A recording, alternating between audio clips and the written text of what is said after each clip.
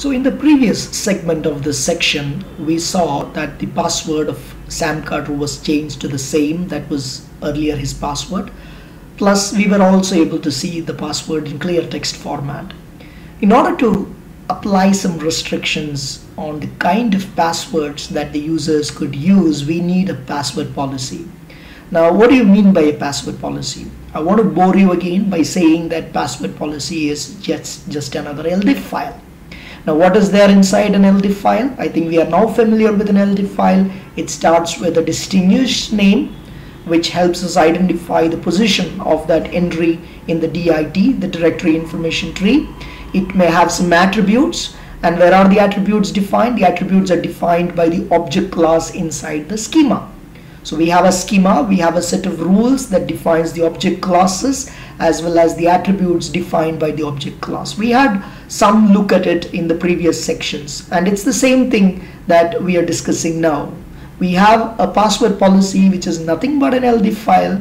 If you look at this LDIF file here as an example, you could see that I have a DN which is actually CN is equal to normal policy. That's actually the name of my policy, normal policy. Where is it kept?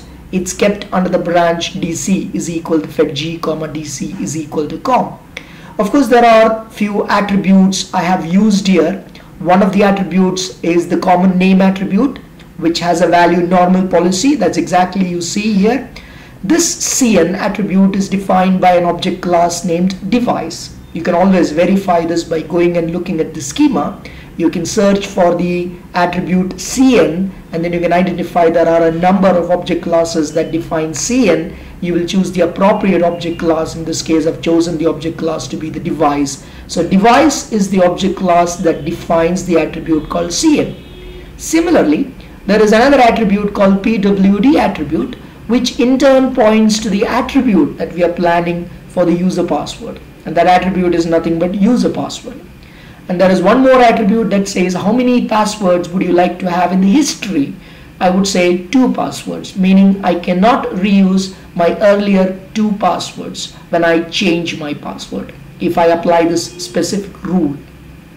So I have written a rule in an LDIF file. So all you need to do is to edit a file an empty file and then put this entry inside that empty file. Run an LDAP add command the normal policy is going to be seated under DC is equal to fedji comma DC is equal to com. So that's how we define a password policy. Now the question is how is this password going to password policy going to take effect for everyone every entry below DC is equal to fedji comma DC is equal to com agreed we created a password policy in the form of LDIF file. We applied an LDAP add or possibly an LDAP modify command to put that password policy under DC is equal to fedji comma DC is equal to com. So under the branch DC is equal to fedji comma DC is equal to com, there is a password policy by the name CN is equal to normal policy. But now the next question is how do we make sure that every user under DC is equal to fedji comma DC is equal to com has to adhere to this password policy which is normal policy. That is why we have P policy overlay. You remember we talked about overlays in the past also. If you remember the access log and the audit log, what did we do? We added these two overlays into the branch OLC database 1BDB. One is nothing but an index. If you remember it, my database suffix is dc is equal to fedji comma dc is equal to com I enabled audit log I enabled access log in my previous section by adding the overlay that's exactly what I would be doing in this section also. But this time my overlay is a password policy overlay. This password policy overlay defines certain attributes just like audit log overlay. If you refer back to my a previous discussion on the audit log overlay, there was an attribute that defined the file where the audit logs were raised.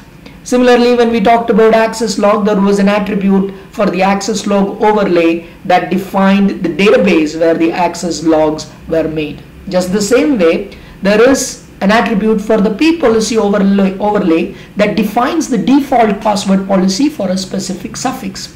So in the end, we are doing only a couple of things. One, we define an overlay called p policy overlay under this database that is the step number one this p policy overlay has an attribute that points to the default password policy for the suffix dc is equal to fedji comma dc is equal to com. Once we define this overlay for the database and once the attribute of this overlay points to the password policy to be used as the default password policy for everyone under dc is equal to fedji comma dc is equal to com just define this password policy in the form of an ld file and add this password policy into dc is equal to fedji comma dc is equal to com. Everyone who belongs to that suffix would now have would now be under the rules of this normal password policy. So again before I wind up this whiteboard discussion just two things you need to remember. I'm going to define a password policy overlay under the database OLC database 1BDB which has a suffix DC is equal to fedji comma DC is equal to com what does the password policy overlay contain? It has attributes that points towards the default password policy. So maybe it would be something like this. If I may write it this overlay may have OLC P policy default. So I would now point this to CN is equal to normal policy comma DC is equal to fedji, DC is equal to com which would actually mean the password policy that I intend to use as the default password policy for DC is equal to fedji comma DC is equal to com is nothing but this.